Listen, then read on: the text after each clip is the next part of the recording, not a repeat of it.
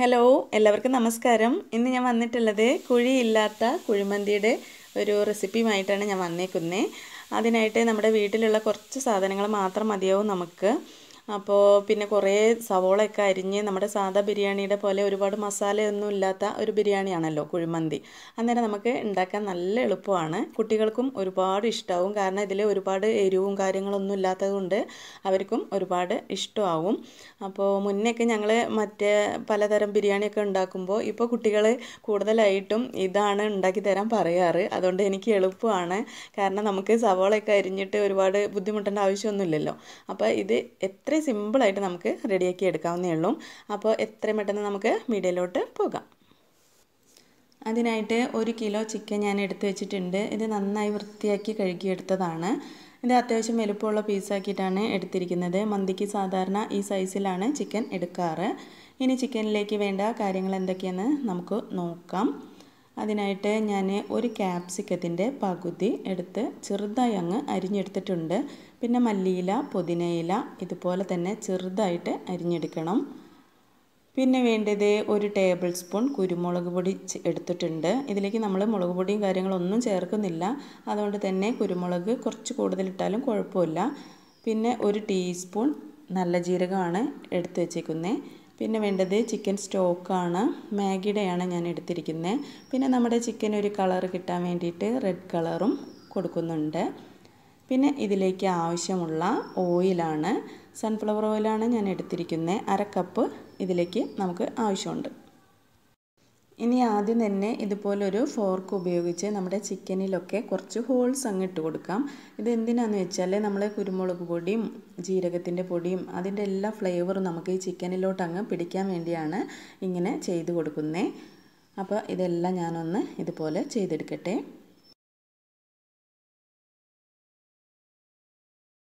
ഇനി ഇതുപോലെ ഒരു പാൻ എടുത്ത് അതിലേക്ക് നമ്മൾ നേരത്തെ എടുത്ത് വെച്ച ചിക്കൻ ഓരോന്നായിട്ട് അങ്ങ് ഇട്ട് കൊടുക്കാം. നമ്മൾ ഏത് പാത്രത്തിലാണോ ചിക്കൻ വറുത്തെടുക്കുന്നത് ആ പാത്രത്തിൽ വേണം നമുക്ക് ഇതുപോലെ ചിക്കൻ അങ്ങ് നിരത്തി കൊടുക്കാനായിട്ട്. കൂടുതൽ എമൗണ്ട് ഉണ്ടെങ്കിൽ ഇതിനേക്കാളും വലിയ പാത്രം എടുത്തിട്ട് സെറ്റ് ചെയ്യാൻ നോക്കണം. എന്നിട്ട് ഇതിലേക്ക് നമ്മൾ നേരത്തെ എടുത്തു വെച്ച ക്യാപ്സിക്കം മല്ലി മല്ലിയില പുതിനയില കുരുമുളക് ജീരകം ചിക്കൻ സ്റ്റോക്ക് ഓയിൽ എന്നിവയൊക്കെ നമുക്കിതിലേക്ക് ചേർത്ത് കൊടുക്കണം. ഈ മാഗിയുടെ ക്യൂബിനകത്ത് രണ്ട് ക്യൂബ്സാണ് ഉണ്ടാക്കുക അത് നമ്മൾ കൈ വെച്ച് ചെറുതായി അങ്ങ് പിച്ചിയിട്ട് വേണം നമുക്ക് ഇതിലേക്ക് അങ്ങ് ഇട്ട് കൊടുക്കാനായിട്ട്. ഇതിൽ അത്യാവശ്യം ഉപ്പുള്ളത് കൊണ്ട് തന്നെ നമുക്ക് ഈ ചിക്കനിലേക്ക് ഉപ്പ് ചേർക്കേണ്ട ആവശ്യം വരുന്നില്ല. ഉപ്പ് കൂടെ ചേർത്ത് കഴിഞ്ഞാൽ ഒരുപാട് അങ്ങ് ഉപ്പ് കൂടി പോകും ഇനി അതിലേക്ക് കളർ ചേർത്ത് കൊടുത്തിട്ടുണ്ട്. ലാസ്റ്റ് നമ്മൾ ഓയിലും കൂടെ ചേർത്ത് കൊടുത്തിട്ടുണ്ട്. ഇനി നമ്മുടെ കൈ വെച്ച് നന്നായിട്ട് അങ്ങ് ഈ ചിക്കനിലോട്ടൊക്കെ ഈ ഇതിലുള്ള കുരുമുളകിന്റെയും ജീരകത്തിന്റെയും എല്ലാ ഫ്ലേവറും കയറാനായിട്ട് നന്നായിട്ട് അങ്ങ് മിക്സ് ചെയ്ത് കൊടുക്കാം അതിനുശേഷം നമുക്ക് ഇതൊരു പത്ത് മിനിറ്റ് റെസ്റ്റ് ചെയ്യാൻ വെക്കണം. റെസ്റ്റ് ചെയ്യാൻ വെക്കുക എന്ന് പറഞ്ഞാൽ ഫ്രീസറിനകത്ത് പെട്ടെന്ന് വെക്കുകയാണെങ്കിൽ നമുക്ക് പെട്ടെന്ന് അങ്ങ് സെറ്റായി കിട്ടും. അപ്പോൾ അത് സെറ്റായി വരുമ്പോഴേക്കും എനിക്ക് കുറച്ച് പണികളും കൂടി ബാക്കിയുണ്ട്. ആ പണികളൊക്കെ കഴിഞ്ഞ് വരുമ്പോഴേക്കും നമ്മുടെ ചിക്കൻ സെറ്റായിട്ടുണ്ടാകും. അപ്പോൾ ഞാൻ ഇത് റെസ്റ്റ് ചെയ്യാൻ വയ്ക്കട്ടെ ചിക്കൻ റെസ്റ്റ് ചെയ്യുന്ന സമയം കൊണ്ട് നമുക്ക് മന്തിയിലേക്ക് വേണ്ട അരി ഒന്ന് എടുത്തു വയ്ക്കാം അതിനായിട്ട് ഇന്ത്യ ഗേറ്റിന്റെ നീളമുള്ള അരിയാണ് ഞാനിവിടെ എടുത്തിരിക്കുന്നത് ഇത് അത്യാവശ്യം വേവുണ്ടാവും. നമ്മുടെ സാധാ ബിരിയാണി റൈസിനേക്കാളും കുറച്ചുകൂടെ വേവുള്ള അരിയാണ് ഈ ഇന്ത്യ ഗേറ്റിന്റെ ഈ വലുപ്പമുള്ള അരി. ഇത് ഞാൻ എടുത്തിരിക്കുന്നത് മൂന്ന് കപ്പ് അരിയാണ് ഞാൻ എടുത്തിരിക്കുന്നത് ഇരുന്നൂറ്റമ്പത് എം എല്ലിന്റെ മെഷറിംഗ് കപ്പിൽ മൂന്ന് കപ്പ് അത്രയാണ് എടുത്തിരിക്കുന്നത് എന്നിട്ട് ഇത് നന്നായിട്ടങ്ങ് കഴുകി വൃത്തിയാക്കിയിട്ട് വേണം നമുക്ക് കുതിർക്കാനായിട്ട് മാറ്റി വയ്ക്കണം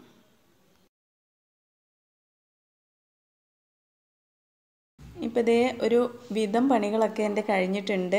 അപ്പോഴേക്കും ഒരു പതിനഞ്ച് മിനിറ്റ് ആയപ്പോഴേക്കും നമ്മുടെ ചിക്കനൊക്കെ നന്നായിട്ട് തണുത്ത് സെറ്റ് ആയിട്ടുണ്ട് ഇപ്പോൾ ഞാൻ ഫ്ലെയിം ഓൺ ആക്കിയിട്ടുണ്ട്. ഇനി നമ്മുടെ ഓയിലൊക്കെ ഒന്ന് മെൽറ്റായി വന്നു കഴിഞ്ഞാൽ നമുക്ക് മീഡിയം ഫ്ലെയിമിലിട്ടിട്ട് വേണം ഈ ചിക്കനൊക്കെ ഒന്ന് പൊരിച്ചെടുക്കാനായിട്ട്. പുറത്ത് വെക്കുകയാണെങ്കിൽ അരമണിക്കൂർ ടു ഒരു മണിക്കൂറൊക്കെ വെച്ചാൽ നന്നായിരിക്കും.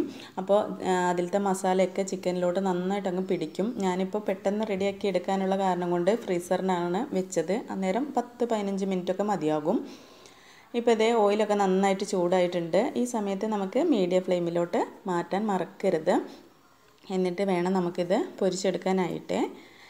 ഇപ്പോൾ ഇതേ ഒരു സൈഡ് ചെറുതായി ഒന്ന് മൊരിഞ്ഞ് വന്നിട്ടുണ്ട്. അന്നേരം നമുക്കിതൊന്ന് മറിച്ചിട്ട് കൊടുക്കാം. ഇങ്ങനെ അങ്ങോട്ടും ഇങ്ങോട്ടും മറിച്ചിട്ടിട്ട് വേണം നമുക്ക് ഈ ചിക്കൻ പൊരിച്ചെടുക്കാനായിട്ട്. ഒരുപാട് അങ്ങ് തീ കൂട്ടി വെച്ച് കഴിഞ്ഞാൽ പെട്ടെന്ന് അങ്ങ് കരിഞ്ഞു പോയി കഴിഞ്ഞാൽ നമ്മുടെ മന്തിയുടെ ടേസ്റ്റ് മൊത്തത്തിൽ അങ്ങ് കോളായി പോകും. അപ്പോൾ ഇതെല്ലാം മറിച്ചിട്ടിട്ട് നമുക്ക് സാവധാനം പൊരിച്ചെടുക്കണം. ഓക്കെ? ഇപ്പോൾ നമ്മുടെ ചിക്കനൊക്കെ ഏകദേശം നന്നായി വെന്ത് വന്നിട്ടുണ്ട്. അന്നേരം ഞാൻ അടുപ്പത്ത് നിന്നും അപ്പുറത്തെ അടുപ്പിലോട്ട് അങ്ങ് മാറ്റി കൊടുത്തിട്ടുണ്ട്.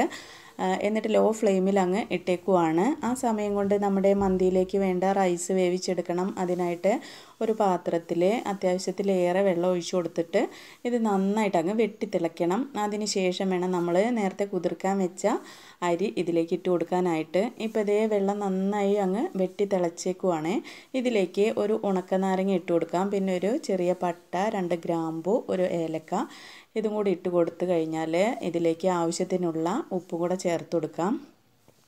പിന്നെ വേണ്ടത് ഒരു ടീസ്പൂൺ ഓയിലാണ്. ഇത് ചേർക്കുന്നത് എന്തിനാന്ന് വെച്ചാൽ നമ്മുടെ ചോറിന് ഒരു ഗ്ലേസിങ് കിട്ടാൻ വേണ്ടിയാണ്.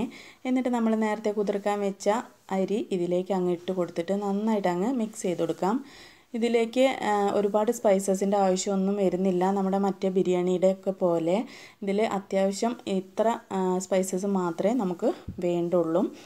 അപ്പോൾ നന്നായി മിക്സ് ചെയ്ത് കൊടുത്തതിന് ശേഷം അടച്ച് വെക്കാം. ഇപ്പോൾ ഇതേ ഒരു അഞ്ച് മിനിറ്റ് ആയപ്പോഴേക്കും നമ്മുടെ റൈസ് ഏകദേശം വെന്ത് വന്നിട്ടുണ്ട്. ഒരുപാട് അങ്ങ് വെന്ത് കുഴയാൻ നിൽക്കേണ്ട ആവശ്യമില്ല. ഇതുപോലെ നമ്മൾ കൈവച്ച് തൊടുമ്പോൾ അങ്ങ് മുറിഞ്ഞ് കിട്ടണം. അതാണ് ഈ റൈസിന്റെ ഭാഗം.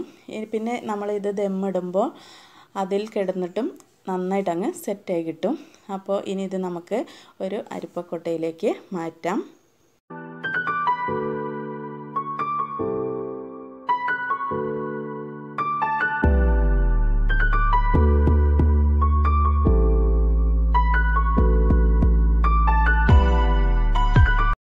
അങ്ങനെ നമ്മുടെ മന്തി റൈസ് വെന്തിട്ടുണ്ട്. അതുപോലെ തന്നെ ചിക്കനും നന്നായിട്ട് അങ്ങ് വെന്തിട്ടുണ്ട്. ഇപ്പം നമ്മൾ ആദ്യമേ ഒഴിച്ച ഓയിലിന്റെ അത്ര അളവൊന്നും ഈ പാത്രത്തിലില്ല. ഇനി നമുക്ക് ഇതിൽ കാണുന്ന ഈ ഓയിൽ കണ്ട് പേടിക്കൊന്നും വേണ്ട. നമുക്ക് റൈസ് ദമ്മിടാൻ നേരത്ത് ഇത്രയും ഓയിൽ ആവശ്യം വരും. മന്തിയുടെ റൈസ് കുറച്ച് ഓയിലിയാണ്. അങ്ങനെ നമ്മുടെ മന്തി കുഴിയില്ലാതെ തന്നെ നമുക്ക് ദമ്മിട്ട് തുടങ്ങാം. അതിനായിട്ട് നമ്മുടെ ചിക്കന്റെ മുകളിലേക്ക് കുറച്ച് ചോറങ്ങ് ഇട്ട് കൊടുക്കാം. ഈ ചോറ് ചൂട് കൊടുക്കനെ തന്നെ നമുക്ക് ദം ചെയ്യണം. കുറച്ചങ്ങ് തണുത്ത് കഴിഞ്ഞാൽ നമ്മുടെ ഈ ചോറിന്റെ സ്ട്രക്ചറൊക്കെ അങ്ങ് മാറിപ്പോകും. അങ്ങനെ കുറച്ച് ചോറ് അതിന്റെ മുകളിലേക്ക് ഇട്ടതിന് ശേഷം കുറച്ച് മഞ്ഞൾ ഞാൻ കലക്കിയിട്ടുണ്ടായിരുന്നു. അങ്ങനെ യെല്ലോ കളറും റെഡ് കളറും കുറേശ്ശെ ഒഴിച്ച് കൊടുത്തതിന് ശേഷം വീണ്ടും അതിന്റെ മുകളിൽ ചോറങ്ങ് പരത്തി കൊടുക്കാം. അതിന് ശേഷം നമുക്ക് വീണ്ടും കുറച്ചും കൂടെ കളറൊക്കെ ചേർക്കാനുണ്ട്. ഇപ്പോൾ ചോറ് മുഴുവനായിട്ട് അങ്ങ് ഇട്ട് കൊടുത്തിട്ടുണ്ട്. ഇനി രണ്ട് പച്ചമുളക് എടുത്തിട്ട് നെടുകെ അങ്ങ് കീറിയിട്ട് ഇതുപോലെ ചോറിന്റെ ഉള്ളിലേക്ക് അങ്ങ് വെച്ച് കൊടുക്കാം. ഇത് എന്തിനാന്ന് വെച്ചാൽ എരിവിന് വേണ്ടിയൊന്നുമല്ല നമ്മുടെ റൈസിന് ഈ പച്ചമുളകിന്റെ ഒരു ഫ്ലേവർ കിട്ടാൻ വേണ്ടി മാത്രമാണ് ഇതിലേക്ക് വെച്ച് കൊടുക്കുന്നത് നമ്മളിതിൽ മുളകൊന്നും ചേർത്തിട്ടില്ലല്ലോ. അതിന് വേണ്ടിയാണ് നമ്മളിത് വെച്ച് കൊടുക്കുന്നത് എന്നിട്ട് ഇതിന്റെ മുകളിലായിട്ട് നമ്മൾ നേരത്തെ എടുത്തു വെച്ച യെല്ലോ കളറും റെഡ് കളറും അങ്ങ് ഒഴിച്ചു കൊടുക്കാം. ഇത് ഓപ്ഷണലാണ് ആവശ്യമുള്ളവർ മാത്രം ചെയ്താൽ മതിയാകും. കാരണം എന്താണെന്ന് വെച്ചാൽ ഇത് നമ്മൾ ഇത്രയും നേരം കഷ്ടപ്പാട് എന്ന് പറയാൻ പറ്റില്ല. ഇത്രയും നേരം അടുക്കളയിലൊക്കെ നിന്നിട്ട് നമ്മൾ ഉണ്ടാക്കിയൊരു ഫുഡ് അതിന്റേതായ ഭംഗി വേണ്ടേ? അപ്പോൾ അതിന് വേണ്ടിയാണ് ഇത് ചേർക്കുന്നത് അപ്പോൾ യെല്ലോ കളറും റെഡ് കളറും വൈറ്റ് കളറും കൂടി ഭയങ്കര രസമായിരിക്കും കാണാനായിട്ട്. അപ്പോൾ എനിക്ക് എന്ത് ഫുഡ് ഉണ്ടാക്കി എത്ര ചെറിയ ഫുഡാണെങ്കിൽ പോലും അത് പ്രസന്റ് ചെയ്യുന്നത് എനിക്ക് അത്രയും നിർബന്ധമാണ്. അങ്ങനെ അത് ഫോട്ടോ ഒക്കെ എടുത്തതിന് ശേഷമേ നമ്മൾ കഴിക്കാറുള്ളൂ. അത് സ്റ്റാറ്റസൊക്കെ ഇടുക എന്ന് പറഞ്ഞാൽ എനിക്ക് ഭയങ്കര സന്തോഷമാണ് അതൊക്കെ. അങ്ങനെ നമ്മുടെ എല്ലാ ഐറ്റംസും റെഡി ആയിട്ടുണ്ട്. ഇനി നമുക്ക് ഇതിന്റെ നടുഭാഗത്തായിട്ട് കുറച്ച് കനൽ വെച്ച് കൊടുക്കണം. ഇതിന്റെ സെന്ററിലായിട്ട് നമ്മൾ ചാർക്കോളാണ് വെക്കാറ്. അത് പുകച്ചാലും മതിയാവും. പക്ഷേ എനിക്കിവിടെ ഷോപ്പിൽ നിന്നും കിട്ടിയില്ല. അത് കഴിഞ്ഞു എന്നാണ് അവർ പറഞ്ഞത് അതുകൊണ്ട് നമ്മൾ കനൽ എടുത്തിട്ട് ഇതിന്റെ സെന്റർ ഭാഗത്ത് അങ്ങ് വെച്ച് കൊടുക്കാം. അതിനായിട്ട് കുറച്ച് കനൽ മതിയാവും കേട്ടോ ഒരുപാട് പുകയൊന്നും വേണ്ട. ജസ്റ്റ് ഒരു സ്മോക്കിംഗ് സ്മെല്ലാണ് നമ്മുടെ ഈ മന്തി റൈസിന്. അതിന് വേണ്ടി മാത്രം കുറച്ച് കനൽ അങ്ങ് വെച്ച് കൊടുത്തിട്ട് അതിന്റെ മുകളിലായിട്ട് ഒരു രണ്ട് ഡ്രോപ്പ് ഓയിൽ അങ്ങ് ഒഴിച്ചു കൊടുത്താൽ മതിയാകും. അതും കൂടെ ഒഴിച്ച് കഴിഞ്ഞാൽ അതങ്ങ് പുകഞ്ഞു വരും. ആ പുകയുന്ന സമയത്ത് തന്നെ നമുക്ക് വേഗം ഇതങ്ങ് അടച്ചു വെക്കണം. അത്രയേ ഉള്ളൂ. ആ പുകയുടെ ഒരു സ്മെല്ല് നമ്മുടെ റൈസിനകത്ത് കിട്ടണം. അത്രയേ ഉള്ളൂ. അങ്ങനെ നമ്മൾ ദമ്മൊക്കെ ഇട്ടു അടച്ചു വെച്ചിട്ടുണ്ട്. ഇനി ഇതുപോലൊരു പഴയ ദോശക്കല്ലെടുത്ത് നമ്മൾ അടുപ്പിലോട്ട് വെക്കുക. അതിന്റെ മുകളിലായിട്ട് വേണം നമ്മൾ റൈസിന്റെ പാത്രം എടുത്തു വെക്കാനായിട്ട്. അല്ല എന്നുണ്ടെങ്കിൽ ഡയറക്റ്റായിട്ട് വെച്ച് കഴിഞ്ഞാൽ പെട്ടെന്ന് അടി പിടിക്കാൻ ചാൻസ് കൂടുതലാണ്. അതുകൊണ്ട് ഇങ്ങനെ ചെയ്യുന്നതായിരിക്കും കൂടുതൽ നല്ലത്. എന്നിട്ട് മീഡിയം ഫ്ലെയിമിലിട്ടിട്ട് വേണം നമുക്കിത് ആവി കയറ്റിയെടുക്കാനായിട്ട്. അങ്ങനെ ഒരു പത്ത് മിനിറ്റ് നമുക്ക് ഇതിങ്ങനെ അടച്ചു വയ്ക്കാം ഇനി ഇതിന്റെ മുകളിലായിട്ട് ഒരു വെയിറ്റും കൂടെ വെച്ച് കൊടുക്കാം. അതിന് ശേഷം പത്ത് മിനിറ്റ് കഴിഞ്ഞിട്ട് നമുക്ക് നമ്മുടെ കുഴിയില്ലാത്ത കുഴിമന്തി എങ്ങനെ ഉണ്ടാവുമെന്ന് കാണാം. ഇപ്പോൾ ഇതേ ദമ്മിട്ടതിന് ശേഷം ഒരു പത്ത് മിനിറ്റ് കഴിഞ്ഞിട്ടുണ്ട്. ഇപ്പോൾ ഞാൻ ഫ്ലെയിം ഓഫാക്കിയിട്ടുണ്ട് ഇനി ഒരു പത്ത് മിനിറ്റും കൂടെ ഇങ്ങനെ അങ്ങ് തുറക്കാതെ അങ്ങ് വെക്കണം. അതിന് ശേഷം നമുക്ക് തുറക്കാം. ഫ്ലെയിം ഓഫാക്കിയിട്ട് പതിനഞ്ച് മിനിറ്റ് കഴിഞ്ഞായിരുന്നു. ഞാനൊന്ന് തുറന്ന് നോക്കട്ടെ.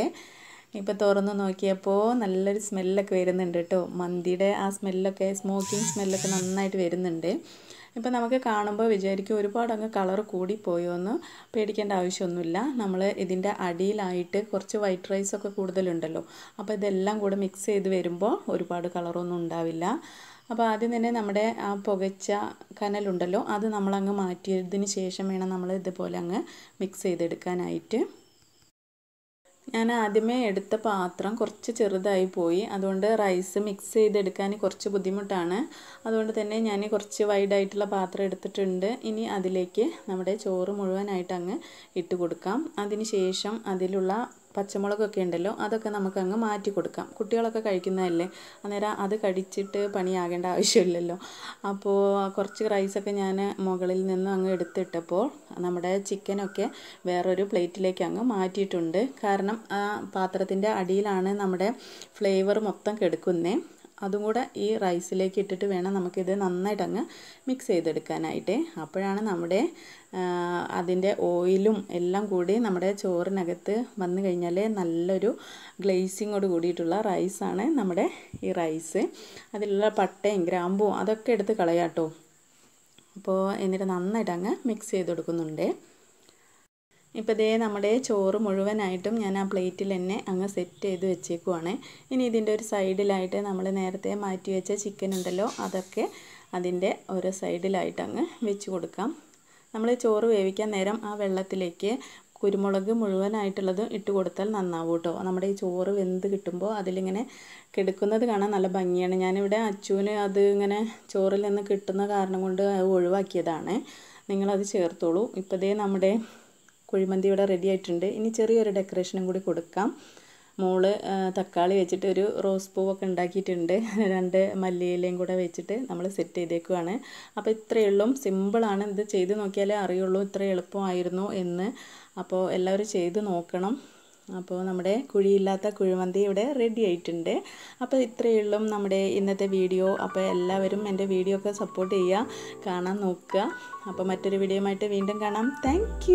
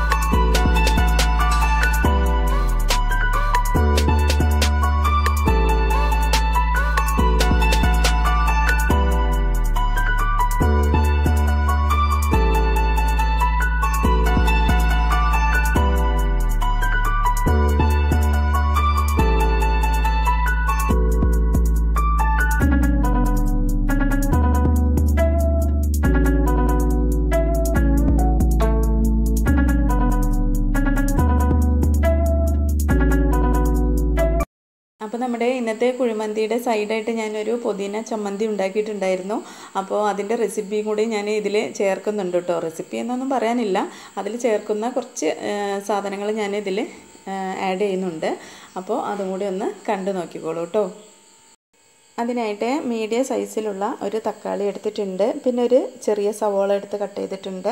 പിന്നെ ഒരു ഗുണ്ട് മുളക് എടുത്തിട്ടുണ്ട്. നല്ല എരിവുള്ള മുളകാണ് കേട്ടോ. പിന്നെ വേണ്ടത് പുതിനയുടെ ഇലയാണ്. ഇതെല്ലാം കൂടി നമുക്ക് ഈ മിക്സിയുടെ ജാറിലേക്ക് അങ്ങ് ഇട്ട് കൊടുക്കാം.